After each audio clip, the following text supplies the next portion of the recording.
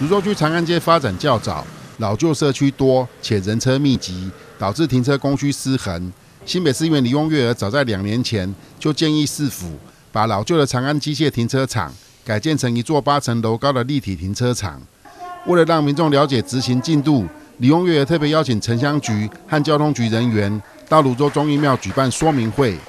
机械停车场其实二十几年前起，伊是迄个机械式的。最近啊，车常常卡住，所以两年前我甲李长甲交通局就已经来会勘啊，城乡局要地码变更吼。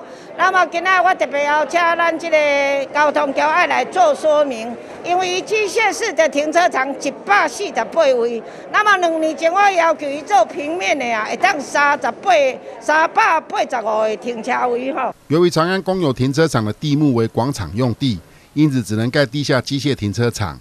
但因为机械老化频频故障，再加上有高度限制，让修理车无法进入。